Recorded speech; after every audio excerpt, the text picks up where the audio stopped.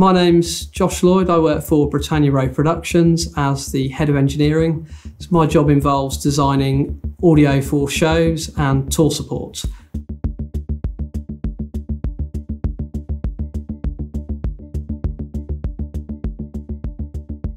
So, Britannia Row Productions is a premium rental company.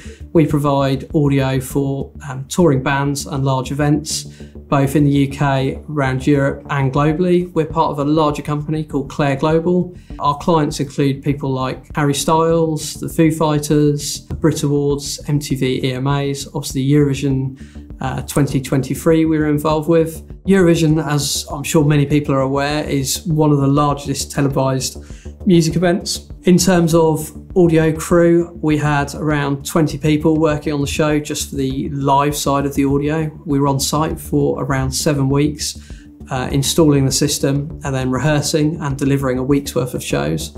So it's a very, very large project.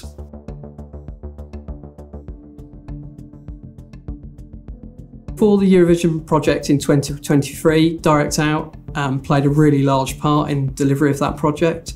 So the kind of core of the system, um, the main kind of backbone was based around the Prodigy MP processors. One of the big briefs for the Eurovision was resilience and redundancy, so we couldn't afford to have anything um, fail during the show. The reason we had four Prodigies was we had two that were specifically handling all the playback and radio mics, so we would take all the playback systems in via MADI and all the radio mics in via Dante. We were also handling all the audience mics in the arena for broadcast. So they would also use the mic cards inside the Prodigy and take all those in. So in terms of I/O, the Prodigy was kind of utilising all that it has on board. We were using the EARS switching to switch between three playback systems. We had a main, a backup, and a disaster recovery. We had uh, multiple radio mics. We had um, 64 channels of radios hitting the Prodigy itself. So we were delivering Dante to some consoles, we were delivering MADI to broadcast and to other consoles within the arena. And the reason for two Prodigies was we had a backup um, Prodigy.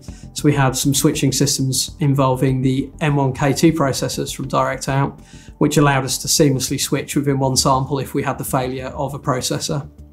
We then had a second pair of Prodigy MPs, which were handling all the signal distribution to the loudspeaker system in the arena. We could take MADI in from uh, one set of consoles. We were taking in uh, Dante from another console. We were also taking in analog backup from the consoles and utilizing the uh, input manager.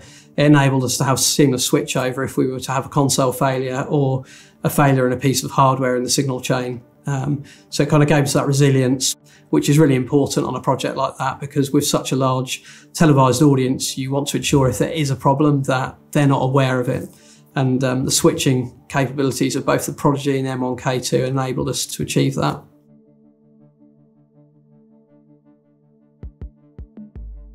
We also used the Andiamo for some of our conversions. So we were taking in things like Soundfield microphones that were providing audience mic in surround format, which also fed into the M1K2 and the Prodigy system, signal distribution system, and also gave us some high-end conversion for some of the analog redundancy into the consoles. We also had the EXBOX.MD providing some format conversion between Dante and MADI as well.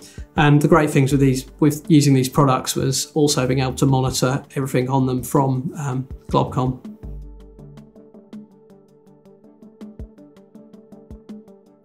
Another part of the direct out ecosystem that was incredibly helpful on Eurovision was Globcon, which is the control platform. The audio system for Eurovision was um, built kind of around a fibre backbone, utilising a converged network with multiple formats. One of the nice features with Globcon is the ability to have things like web browsers that link directly into endpoints such as network switches or other audio hardware which can be accessed via a web browser. We had an audio operator on, on site who, who uh, kind of was solely tasked with monitoring everything on the backbone of the system. So he had the ability to monitor everything from uh, kind of one dashboard over multiple monitors and being able to also customize views of um, Globcon. So if they wanted to kind of delve deeper into a specific kind of uh, area in a Prodigy, maybe particular routing page. You can customize layouts within Globcon. So from an end user point of view, Globcon kind of enabled very fast navigation around a complex audio system,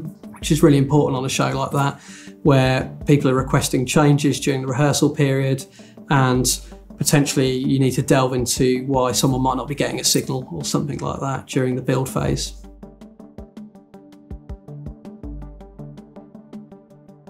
The Ferrofish A32 is really useful because it has dual power supplies. Um, when using MADI, you have the ability to swap between uh, or auto switch between optical and BNC MADI. So on a project like this where resilience is important, although it's a uh, backup audio source, we can also have uh, two MADI sources running to the A32 and it will seamlessly switch over when there's a loss of clock. Um, it has dual power supplies which enable us to run a UPS on one of the power supplies as well as hard power, which is really important, having that power redundancy. And also they support Dante as well. And there's a huge amount of routing options in the inside the processor. So it's just a, a really useful bit of conversion and uh, processing tool.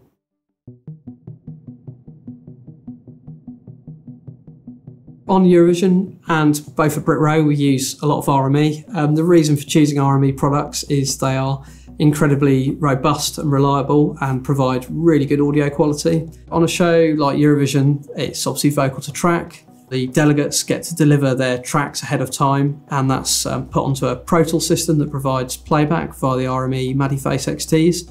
So the entire playback system was based around three MADIFace XTs, and we had a fourth one for a rehearsal system. As well as the playback, the MADIFaces also provide uh, timecode out. So the whole show is driven by timecode, which is really important. Not only audio uses timecode, but also video, lighting, screens. So we distribute timecode over our um, audio network, and that timecode is responsible for a lot of the lighting looks during the show, a lot of the video graphics, um, a lot of the automation of pieces of set. Um, there's moving elements in the lighting rig. Um, so as you can imagine, time code and the reliability of that is a really important part of the show. So um, the playback system and also the switching of that using the Prodigies is, is really important to the um, kind of smooth delivery of the show. Uh, one of the really good things of the MADIFace XT is being able to duplicate uh, across multiple outputs. So we actually duplicated a 64 channel MADI stream across the three sockets, which has enabled us to have three discrete outputs feeding each Prodigy and also our EXBOX.BLDS. So there was nothing in the middle, uh, and kind of another piece of hardware providing a split, which would be another point of failure. So it removed the need for adding an additional piece of hardware. We also use the RME 1610. So the audio system we were using from L Acoustics is based around AVB. And uh, the great thing with 1610 is it gives us conversion from MADI to AVB. And that was the main backbone providing the AVB onto our AVB network to drive all the amplifiers around the arena.